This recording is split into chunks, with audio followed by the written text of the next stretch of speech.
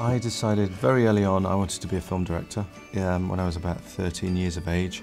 My mum bought me a Super 8 camera and I persisted making films with my little brother, Andrew.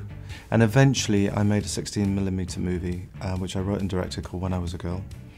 And um, it, it won all these prizes at various film festivals. That got me into film school. And at film school I kind of learnt a bit about the craft. But it was really the short film that did it for me. The BBC bought it and put it on telly. And then on, on the back of that short film, I got offered television work. It used to be quite um, clearly defined. You worked in film or you worked in television. I think now the crossover is much, much easier.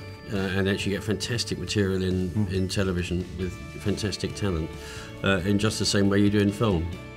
And in this day and age with um, digital technology, it's so easy to make films. When you were doing it, yeah. you had to buy film, you had to get it processed. It's hard to um, deliver a soundtrack. Where now with a with a Mac and an iPhone, just about you can do anything.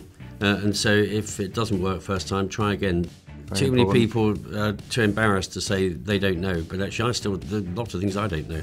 Uh, and the first thing says I don't know, and then someone tells you, or you find out together with a group of people who also yeah. don't know. The best advice to build a career in this industry is to appreciate at a very early stage that it's about being knocked back and about being rejected and about numerous hurdles that will be placed in front of you and those hurdles will never stop coming. If at first you don't succeed, try again. Yeah.